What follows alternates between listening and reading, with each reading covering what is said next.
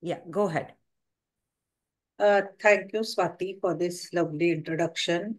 And I'm glad that uh, I've got this opportunity to present this different subject. Uh, now, historical, all of you have seen this subject. And uh, let me first tell you binomial coefficients and historical development. Now, uh, we are going to see through many civilizations and in as Swati said, in different civilization, the perspective of uh, basically these coefficients change. So uh, let us proceed further. So now I will talk about this in a detail. Uh, basically, this entire webinar is about Meru Prastara or Pascal triangle. And uh, in the Pascal triangle or in a Meru Prastara, how that triangle was mean how what is that significance of that particular triangle to Indians and to Greeks, to uh, Persians, and let us see that journey. So all of you are familiar with this particular uh, diagram. I think in last week only, uh, we had Vasanta Panchami. On that day, we do, this is a Saraswati Yantra and we uh, we do puja of this. I'm going to return to this slide because maybe after this seminar, you will find something interesting about this yantra. So let us go further. So in this particular session, I will be doing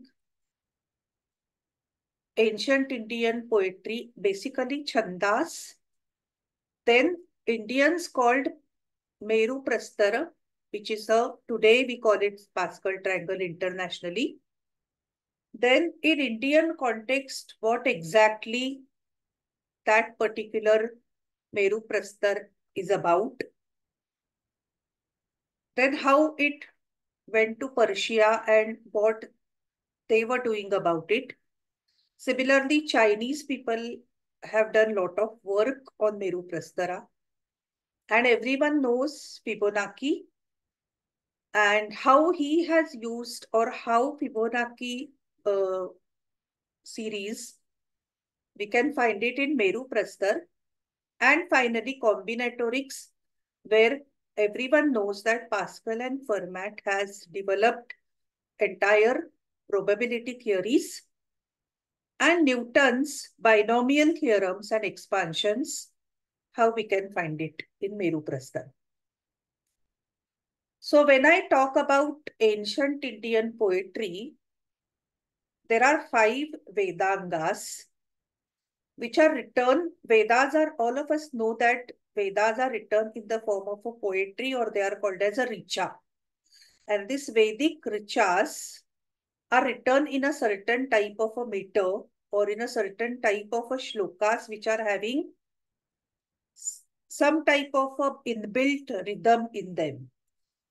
So therefore, when we say that we want to learn Vedangas or when we want to learn Vedas, these are the different things which we find. What is the meaning of Shiksha? So Shiksha is the how you should pronounce Sanskrit words. Because if the pronunciation is different, the meaning will change. Kalpa is the method or the ceremony of performing different yajnas. Vyakarana is a grammar. Nirukta means origin of a certain word. Chanda, today which we are going to talk about, is the how we create poetry in a certain code and astronomy or Jyotish. So this is five Vedangas. So to, one should know these six parts of Vedangas if you want to know Vedas. So this is like a basic qualification to understand Vedas. So now let us see the science of poetry or a chanda. Now when I was uh, reading about chanda or the chandaha word, it has got many different meanings. Like in Marathi, when we say chanda, it is also for Chanda means hobby also. Then Chandaha means in Sanskrit, this is also used for Avarana. Then it is also used for direction or the Disha. Then it is also used for Somaha in Veda, it means rasa, Somaras. It is also used for cattle. So all these are the different meanings. But Yada Akshara Parimadam Ta Chandaha, this is a definition. Akshara means, we know that, alphabets. Parimadam means measurement. So the, the one which measures alphabets, that is Chanda, which is the definition. So, Chandokshara Sankhya Vachya Uchyate. So the number of syllables are counted. So let us see that. So how Pingalacharya was the one who has written the Chanda Sutra and he has written it in around 200, 300 BC. But there are many, many people who contributed in understanding and evolving those chandas. And then let's see how, what is the relation to binomial coefficient to this. We are going to see very soon. So this is the timeline Pingala was there as I tell 200 BC. Virahanka, although you see the 700 BC, between Pingala and Virahaka, Vira, Virahanka, Bharata Muni was there, or Bharata Muni's Natya Shastra use extensive, extensive Chanda Shastra was explained in Natya Shastra, 100 BC. Then there is a Janashray, Janashray Chando Visini, is the books written in 600 CE. Then Virahanka, Vrutta Jati. So Vrutta is writing the way you write the poetry. Jati means different type of meters in the poetry. And collection of that, so Vrutta Jati is the work done by Virahanka. Then Mahavira written a Ganita Sara Sangraha which is, you can see the name Ganita. So it is a mathematics of writing poetry. It is in 850 CE. Then Jaydeva Chanda, 900 CE. Jayakirti Chandanu Shasanam, 1000 CE. Then Hemachandra, we can say here 1150. So Hemachandra written the book Chandanu Shasanam. Shasanam means method. So methodology of working with chandas, working with codes of poetry, lots of mathematics, lots of codes. So this is a way, briefly, they have done the work on cryptic formula, binary numbers, Pascal triangle or Meru Prastar by Pingala. Commentary was written by Virahanka. Halayudha properly defined Meru Prastar and all prosodic combinations or the poetry combinations and coding of poetry was done by Halayudha. Now, actually there are two types of chandas. One is working with, as I told you the definition, one is working with poetry and another is working with music. So the first one which was working with poetry is called as a Kavya Chanda and the other one which works with the rhythm of a tabla or any instrument that is called as the Matra Chanda.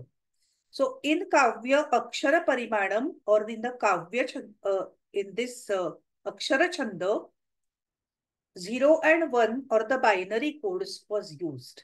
And Pingalacharya actually discover the binary language also. He has given that in a certain, if the certain number is given in a decimal system, how to convert that number in a binary system. But now his perspective was not maths. He was not knowing that the coding which we are doing today for computers, but that coding was used to create meters for writing shlokas and Vedic richas. And therefore, when I say long syllable or a dirgha, it is a guru or a code 1. Short syllable, rasva, code 0. So therefore, let us take these syllables and let us see what it is, how it is done. Okay.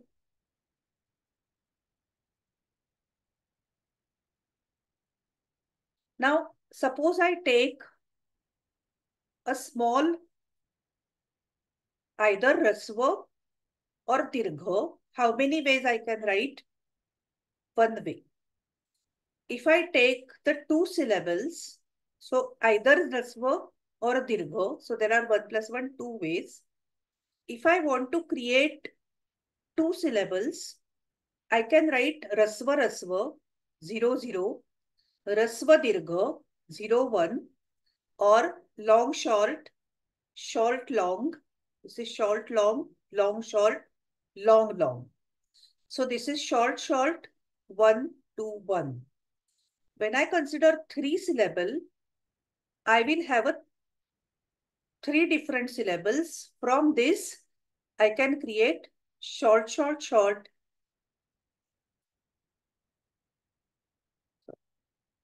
So like this 101, 110, 011. So two short, one short and two long, two short and one long, all three long. So these are the different ways. Now we are going to concentrate on this third line because it has got eight different combinations. And if you have the four syllable, you will find that there will be 2 raised to 4. Now same thing, so you can see that the red digits are nothing but Meru Prastar or Pascal triangle developing here. And this is the sutra Pare Purnam, Pare Purnam, Meru Prastaraha Bhaveto. And therefore this is the Pascal triangle generated. You write 1 plus 1, 2 in the middle. You make a design of 1, 1 at the periphery 2 plus 1, 3, 2 plus 1, 3, 1. Again, 3 plus 1, 4. So these are the coefficients. We call it as today. Why we call it as binomial coefficients? We know that if I expand a plus b bracket square, if I call this as a zeroth line, this is the first line and this is the second line, I will get the coefficient of a plus b bracket square, a square plus 2ab plus b square a cube plus 3a square b plus 3ab square plus b cube. So like this, I can any order binomial expansion. I can do it with the help of this coefficient, which is our today's understanding. But the perspective of this is in ancient time, it is for chandas, it is for meter, it is for poetry writing or creating different tals. So now, therefore, this is the Meru Prastar. We should call it Meru Prastar, Prastar or international name is Pascal Triangle. So let's uh, proceed further. Now, what we are going to do is, as I told you, we are going to concentrate on this line.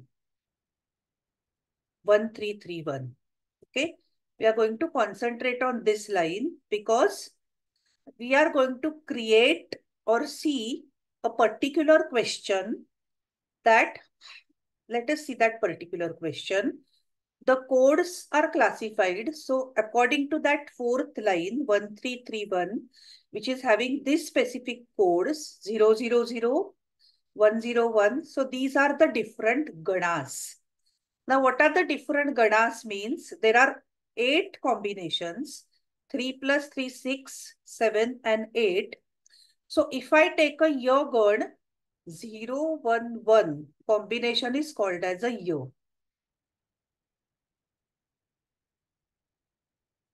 This 0, 1 and 1. This is called as yo. Then if you take 1, 1, 1, it is called as mo. Then you take 1, 1, 0, it is called as to. So now this is the code which everyone remembers as Yama Yamata Rajabhana Salaga. So all codes are remembered with a single nomenclature of eight different ganas. Now what are the gan? Like suppose I write a poem I use the code 011 in that poem, then all, all lines of the poem should have the same code. If I selected that I will write the poem in the with Gan M, then all syllables in the poem will have the coding 111 and 011 means what? Rasva Dirgha Dirgha or Lagu Guru Guru. If I select Ro, then it will be Ma is 111, Ta is 110. So all those three, eight combinations are written. So let us see those combinations. So see this. So here is 011, Ma is triple one. So these are all different ganas are there. And when we are learning grammar, we can find out this Vritta Chanda in grammar. And somebody asks us, like certain poem we recite, and we somebody asks us what is the Vritta of this poem. So that means there is a name given to that Vritta and which is having the Gana, either Yagan, Tagan, Magan. Now, how it works in the coding. I will just tell you if the number is terminal is the word, now that word is separated by, there are vowels, E is a vowel, I is a vowel, A is a vowel. So the divisions of the word is done as per the vowel. So TE is one part, RMI is another part, R is another part, R, MI and NAL, NA and L. So now, when I say that TE, to, the code is 110, which I write here.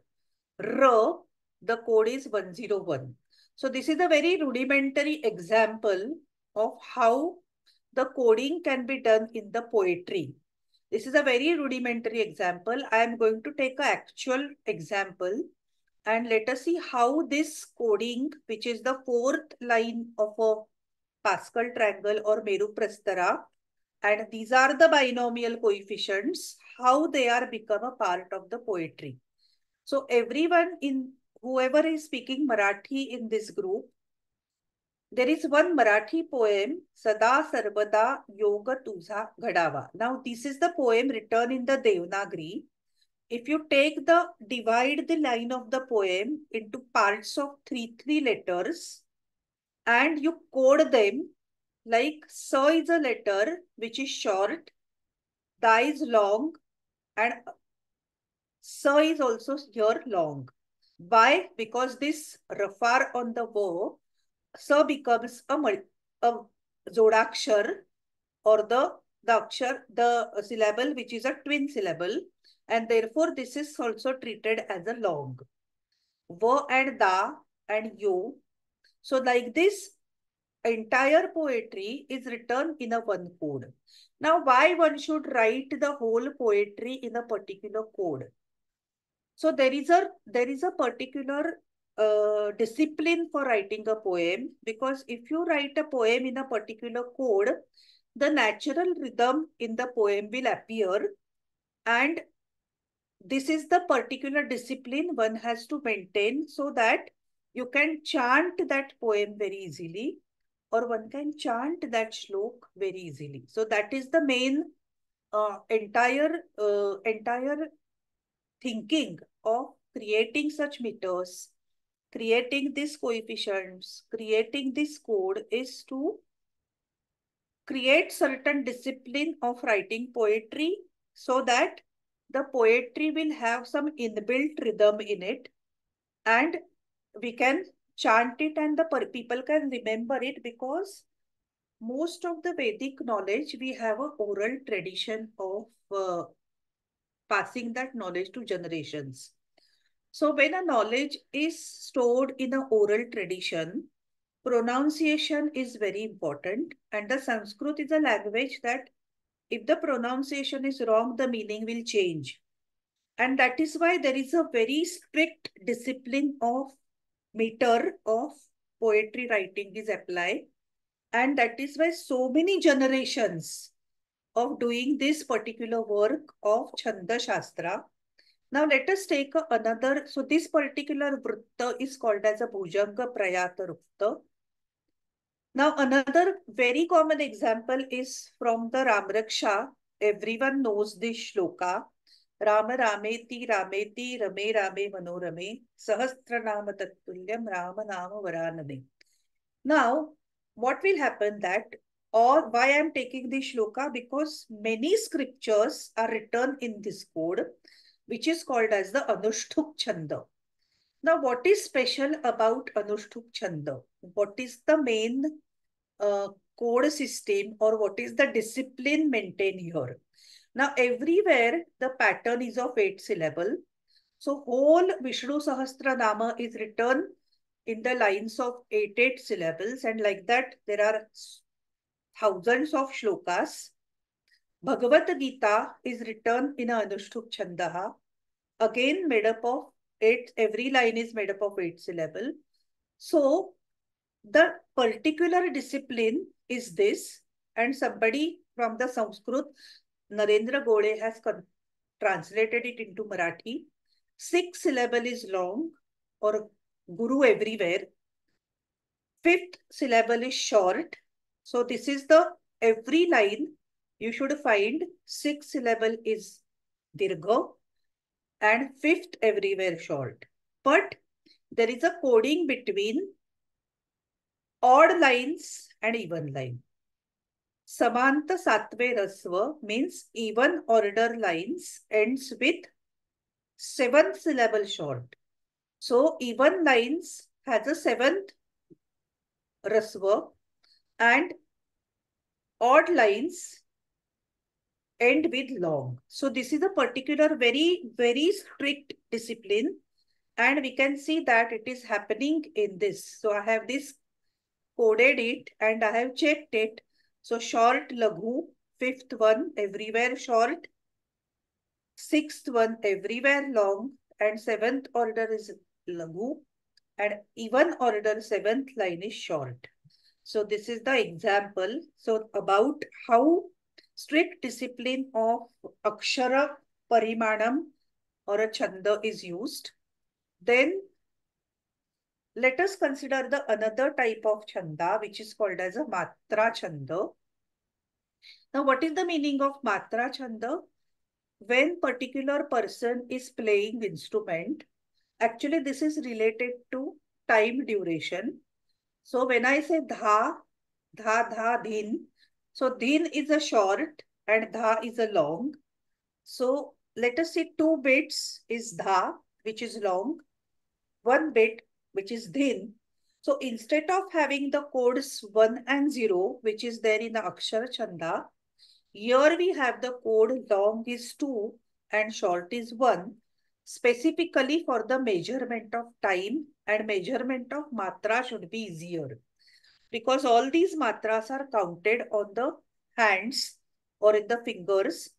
And uh, these fingers actually uh, people who learn uh, these matra chanda they are uh, expert in using their or counting matras with their fingers.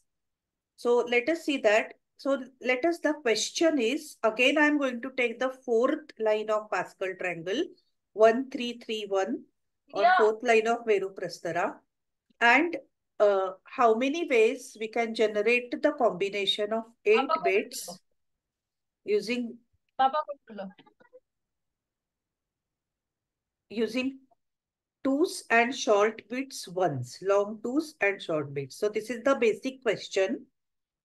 Now,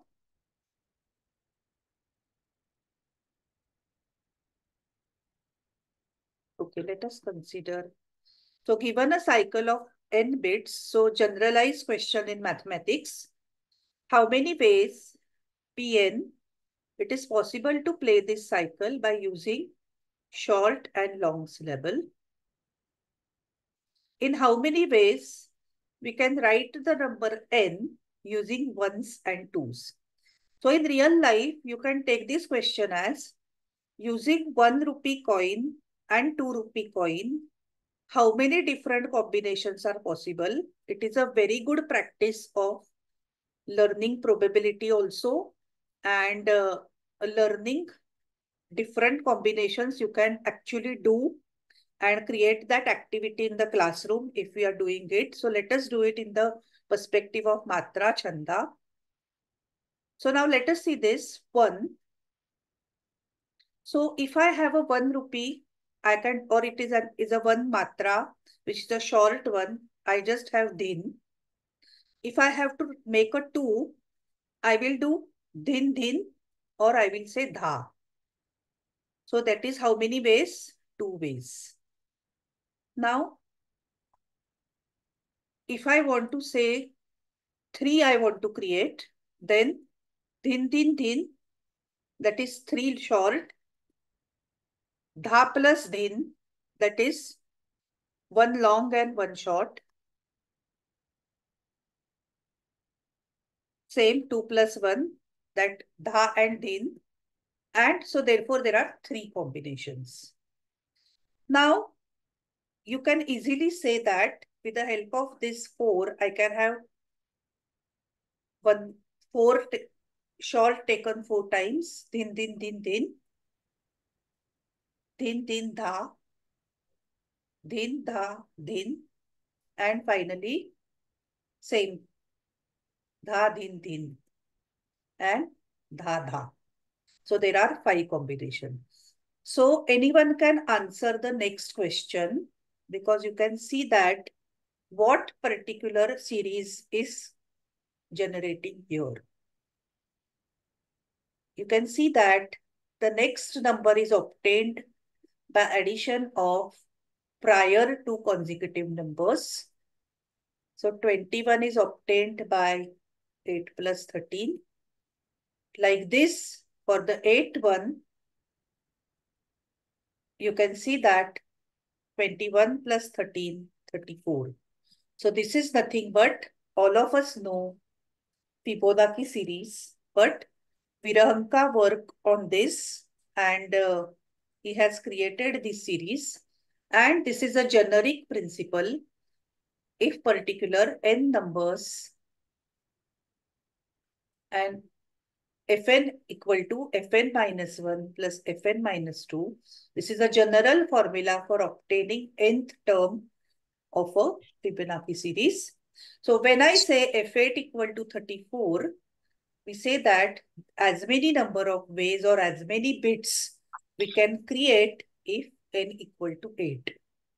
So the Fibonacci numbers are well understood in India, which we can see certainly 200 years before and it, it is related to the question of bits.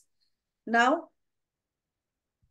so this is the theorem actually, which we have seen Hindu mathematician works of Hemchandra, which is, so we can see that the solution is there for this question of long and short bits. And we created this. And today we know this by Fibonacci series. We know that Fibonacci has used this series in his book called Liber Abaci, where he mentioned about all decimal system and Hindu numerals. And we say that, see that this series is mostly popular because it is a series of nature. We can see many objects appearing in nature which follow Fibonacci series. Now, this is a particular video I will just show you a small part of it.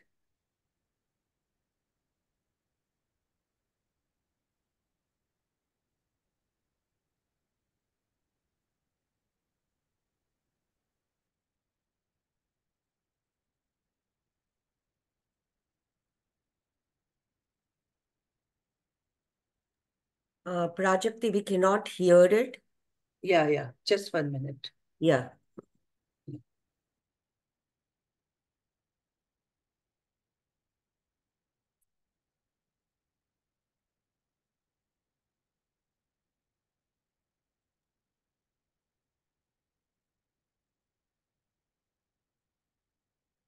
I think there is a way, Prajakti, when you share it, there is a way, I think there is a small button which will let you share the voice also.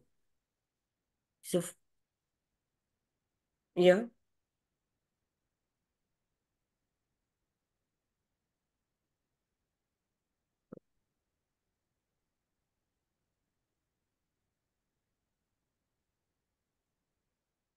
So when you share screen and then I think you go to advanced share options. Yeah, Uh, yeah. no, no, not there. I don't No, know. no, I, I will do it now. Yeah. Now you can hear it. Is it audible now? One, one, one, two, Yes. Two, Yes. one, two, three, four, five. One, two, three, four, five, six, seven, eight. One, two, three, four, five, six, seven, eight, nine, ten, eleven, twelve, thirteen. One, two, three, four, five, six, seven, eight, nine, ten, eleven, twelve, thirteen, fourteen, fifteen, sixteen, seventeen, eighteen, nineteen, twenty, twenty-one.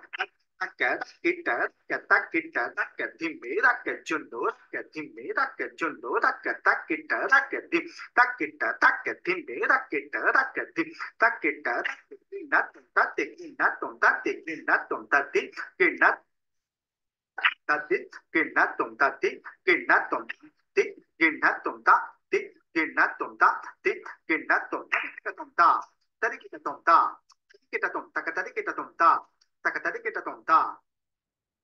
So uh, this is the particular video where you can see that uh, the matras are counted on the fingers and they exactly follow the Fibonacci circle and we can trace the Fibonacci circle and the speed varies according to each type of a, a different tune or the rhythm, the speed, varies.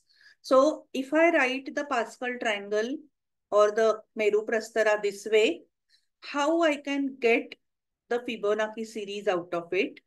Is this is the simple way. You take the diagonal addition and you write the Pascal triangle horizontally, one, one, one to one, one below the other. It is also called as a suchi or a way in the in a pyramid way.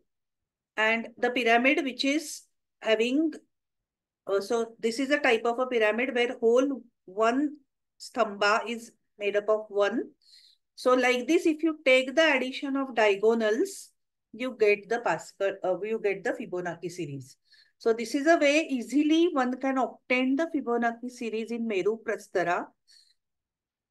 Now, let us talk about, so we see that in Indian context, we have Matra Chanda and also we have Akshara Chanda, which used extensively binomial coefficients to create different type of poetry meters and that is well known in our culture. We don't understand it, actually the mathematics behind it. So let us see what Chinese have done. So in China, you will find the Pascal triangle written in this form. Now there is a different symbolic numbers written here. Now it is called as Yang Hui's triangle because a lot of work was done in regarding this particular triangle. Actually, they have used the triangle to find out the solutions of higher order polynomials. And that is a work, they have done a lot of work on it in China.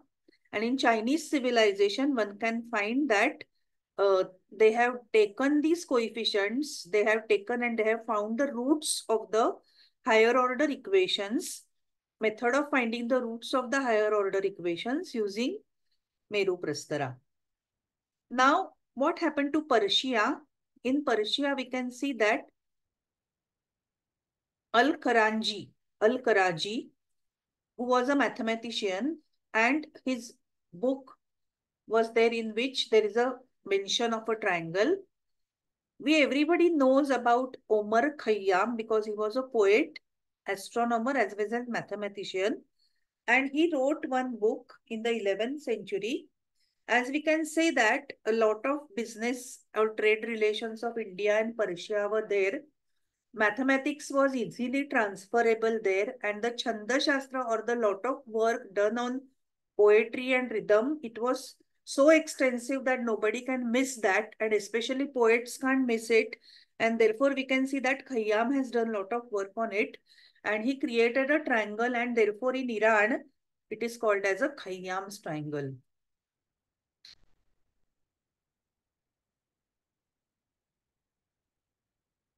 Then when we talk about the Western country, this is the one where Petrus Apianus, he has used these coefficients for business calculation. Actually, in this today's webinar, I am not able to put that content, but uh, Pascal triangle or Meru Prastara coefficients with the help of Vedic mathematics technique, we can find out actually the compound interest very easily. But the thing is that particular method is not very easily understood and it requires a completely different session which uh, I have taken last time in some workshop.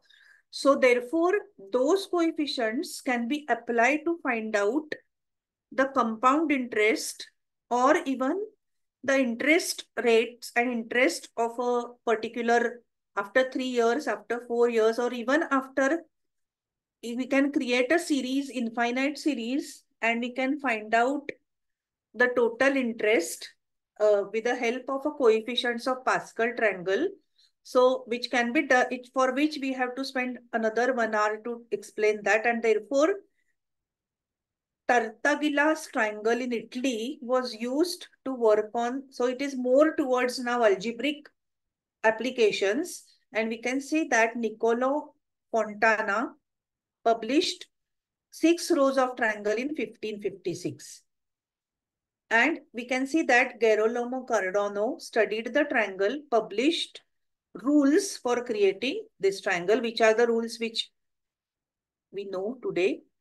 And our great person Blaise Pascal, who has completely created his own theory of probability and uh, all binomial coefficients or the combinatorics coefficients is discovered in the Pascal triangle.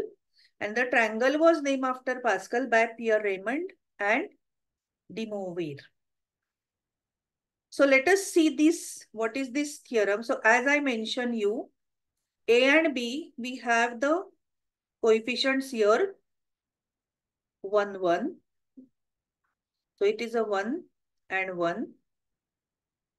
Then here the coefficients will be 1, 2, 1, which is the second line of Meru Prastara. 1, 3, 3, 1.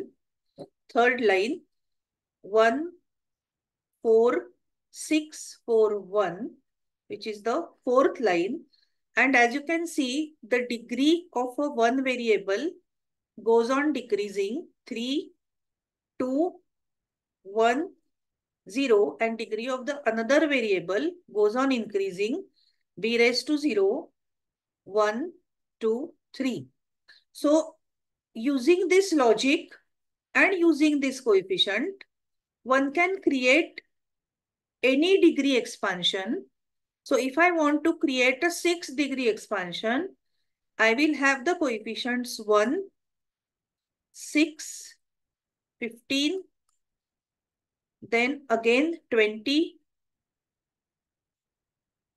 then again 15, 6 and 1 and therefore I can create the whole a plus b bracket raised to 6 as a raised to 6 plus 6 a raised to 5b plus 15 a raised to 4b square plus 20 a cube b cube plus 15 a square b raised to 4 plus 6 a b raised to 5 and finally b raised to 6. So like this using Pascal triangle, ex binomial expansions become very easy. Now, another thing is finding out the geometric progression.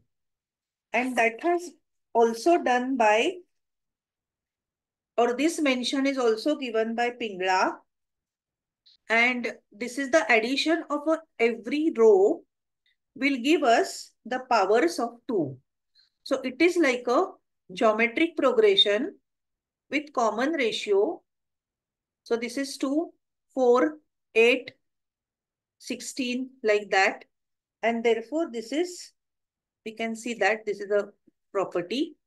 Now Pascal has used this for combinatorics coefficients like how many ways we can select zero objects out of two to see zero. How many ways we can select two objects out of four. So 4C2, six ways. How many ways we can select three objects out of five.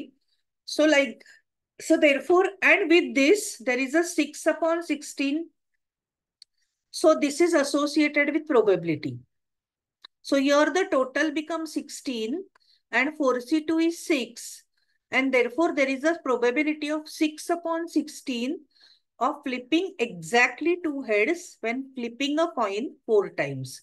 So 4 denotes the number, number of times the coins are flipped. So this entire probability concept can be explained with the help of these combinatorics coefficients in the Pascal triangle. And very famous now, the binomial theorem, which is given by Newton, a plus b bracket raised to n. We know this, the binomial expansion. And these all combinatory coefficients you use from Pascal triangle. Now, another application I have seen, this is the infinite series given by Newton. Now the same type of infinite series was also given by Ganita Kaumudi in a Narayana or Madhava series. So Madhava, Indian uh, uh, mathematician, he has also given such type of a series.